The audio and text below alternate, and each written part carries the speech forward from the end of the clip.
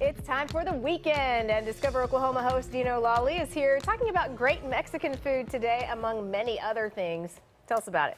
Oh, well, now, what happens when you can't decide between, say, Tex-Mex, Baja Mexican, or New Mexican cuisine? I just combine them all, actually. So Right. this weekend on Discover Oklahoma, we're going to show you a place where you can actually do that. You can actually have a taste of all three styles. Mark Myers has all the details. Let's take a look.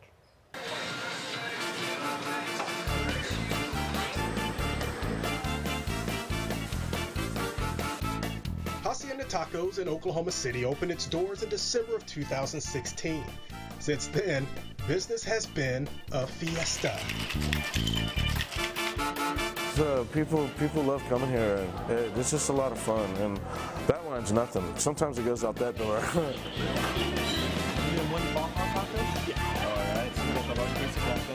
The food is amazing. The atmosphere is great. They got a bar in the back, and uh, yeah, really, you just can't beat the food, especially the chips and queso. The menu is unique. Owner Robbie Vernon created dishes based on three styles Tex-Mex, New Mexico, and Baja California. so, uh, touching on the Tex-Mex side, we have um, anything can have chili con carne or queso, which is like really big Tex-Mex.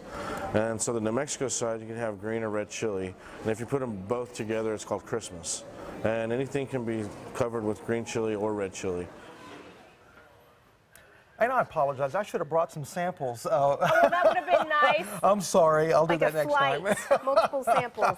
Well, you can see the rest of that story, Heather, this weekend. Plus, you can find out about the adventures that can be found at Roman Nose State Park. Roman Nose State Park, that's free, and there's another Yes. free event going on too. Yes, it's Family Free Day, I think, at the Oklahoma City Museum of Art. That's always a lot of fun. There will be free art projects for the kids, and the Sugar Free All Stars will be performing. All activities at the museum are free thanks to the sponsorship of Sonic Drive-Ins. I like how they brought in sugar free. Oh, sugar free, absolutely. that theme. We've got nice weather, of course, for strolling through downtown Edmond at the Edmond Arts Festival. This runs through Sunday with more than 100 artists, vendors, lots of food trucks, live music, and a children's area.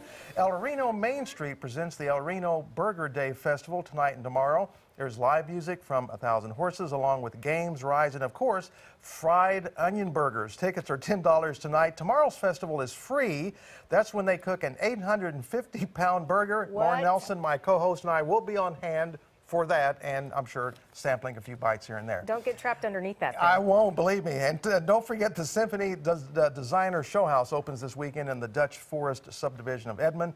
Tickets purchased, uh, purchased today online are $15, and the price goes up to $20 tomorrow. It's a great way to see the hottest trends in interior designs and support music education for kids through the uh, Orchestra League. So, as always, a lot going on. No kidding. You always bring a plethora of things to do. We stuff. appreciate you. You Thank bet. you. And due to NBC's coverage of the Kentucky Derby and hockey, Discover Oklahoma will air on our sister station this weekend, KAUT, 6:30 p.m. on Saturday.